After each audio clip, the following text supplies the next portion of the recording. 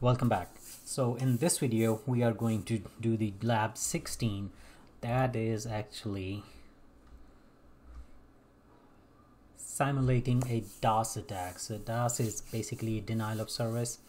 Uh, we'll be using Kali Linux for this and Wireshark as well. So if you want to follow along if you have your Kali set up you can see the um, these instructions here. Follow along and here are rest of the instructions. Alright so let's get started. Let's let's start our Kali Linux. Make it bigger. And Firefox ESR that would be it probably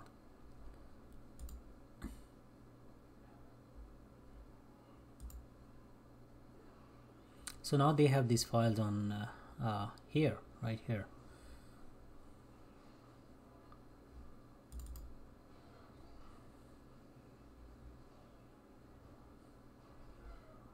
Okay we're gonna go to an IP address. That is 192.168.122.173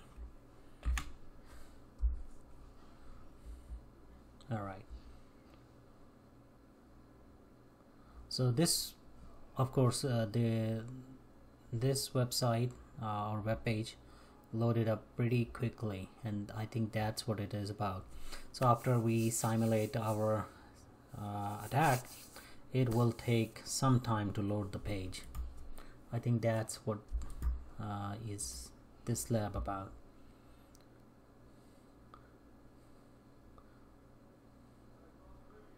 Okay so applications sniffing and spoofing. Sniffing and spoofing and then Wireshark gonna be the very last one here.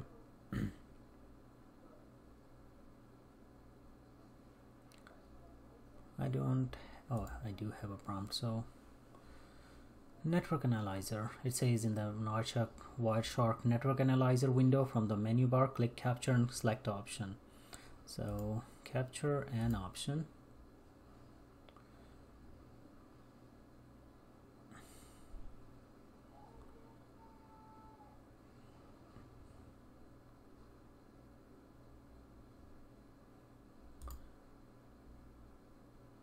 where it is.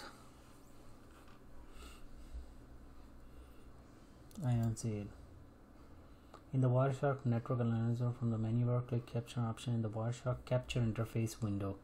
Type capture a filter. Capture filter for selected interface. Okay yeah. TCP port 80 TCP port 80 and click start. Minimize the Wireshark window. And one thing I wanted to say where it is. Right here. You see there is no activity.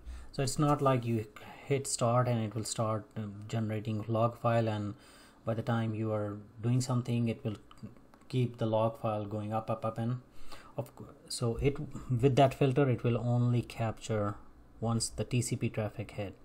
And since on this machine no TCP traffic is going on so it's just waiting for it to happen. Now it will. We're opening Firefox ESR this page loaded. So if we, we were to um, please minimize and if we go technically we should see some traffic. Oh we haven't started yet. That's why. All right in the browser window.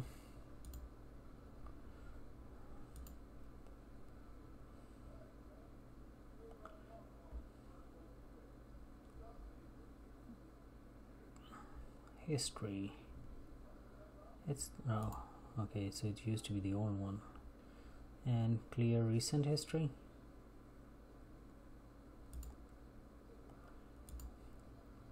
Everything offline.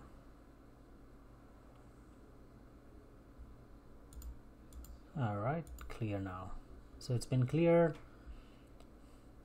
in the terminal window. Okay now we go to the terminal finally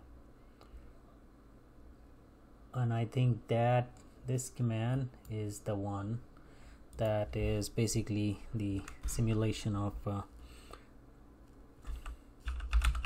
DOSIT 192.168.122.173 switch P on that defining what port on. The I think the I like this size or how many time numbers something like that. Switch capital S and switch lowercase q RAND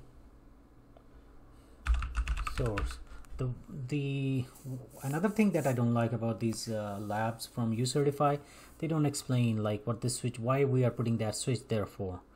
Uh, it will help a lot if we know what that switch is for so you know it, it it's makes you remember and, and understand better for the next time.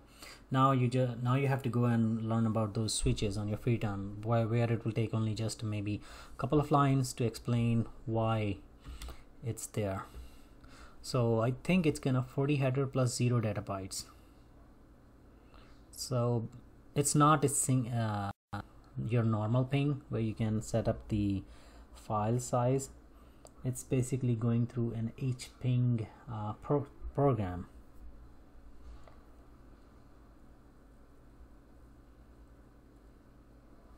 So right now I think it's continuously running its thing. And and go back to the browser window that is this. And now we're gonna try going to our web page. And the reason they made us a clear history was that uh, then the browser cannot serve us the cached page. And you can see it's taking its time.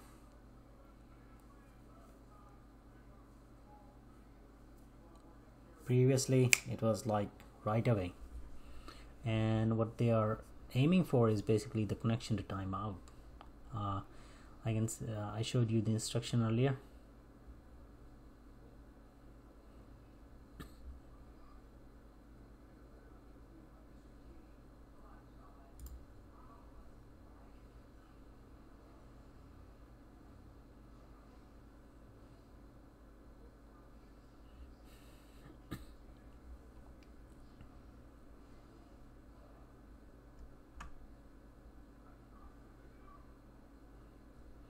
I'm just waiting for it to uh, time out. And it's taking its time.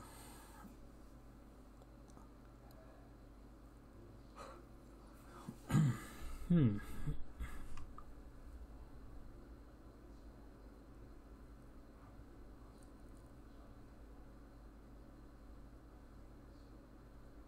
So that's the only annoying thing about uCertify that uh, the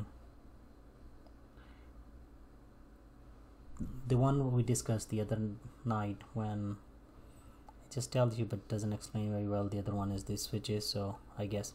Alright so it's uh, timed out. That's what they wanted. Now we're gonna go minimize it go back to our terminal. We're gonna hit control C to get out of that program like stop it. And we can close all window. I'm gonna go back here. Try to submit my assignment while uh, I hope this video has helped you. If it has please rate comment subscribe and share and I will see you in the next one